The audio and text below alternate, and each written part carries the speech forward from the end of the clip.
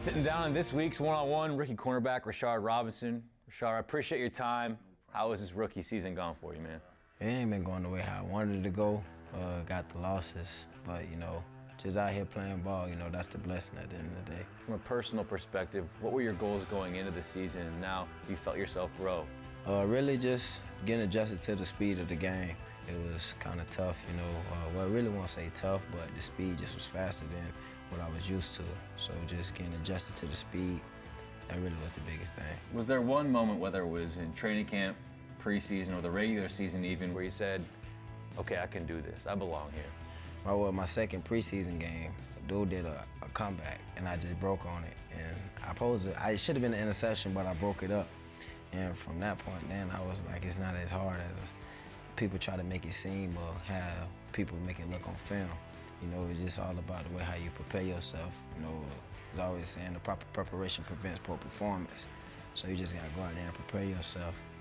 Like, just go out there and just play ball. Okay, that was that was too good of a line. You give that to me one more time. Proper. The proper preparation, preparation prevents, prevents poor performance. Poor performance.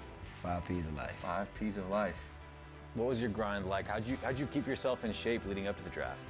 I was working out with my uh, good friend. He had uh, Tevin Allen. Uh, we was going to work. You know, sometimes we'd be out there for four or five hours. We just constantly grinding. I'm out there throwing up, you know, trying to get my body back into shape.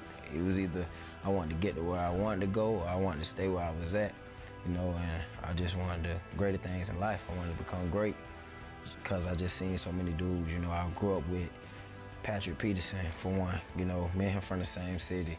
Jabari Price. Then you got the other dudes, Tyrone Carter, Al Harris, you know, and I just wanted to be a part of that. Just part of something great and just wanted to start my own legacy.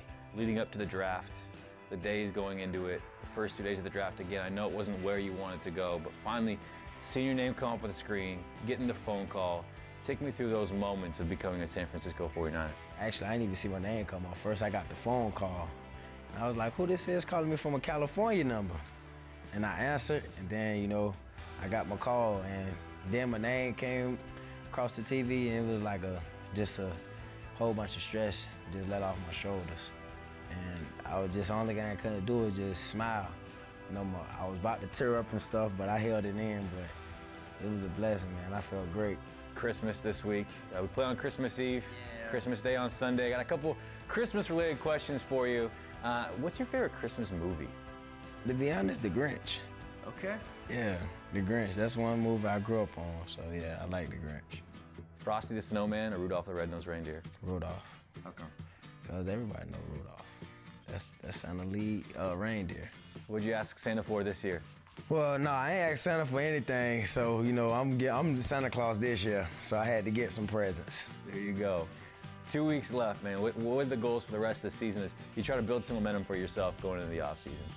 Want to win these last two games. That's the main thing, and uh, you know, just building up a, a name for myself.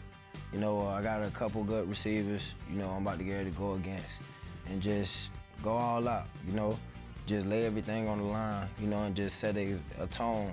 You know, for next year that we, we really mean business. You know, we let this year slip away from us, but we're gonna get it right.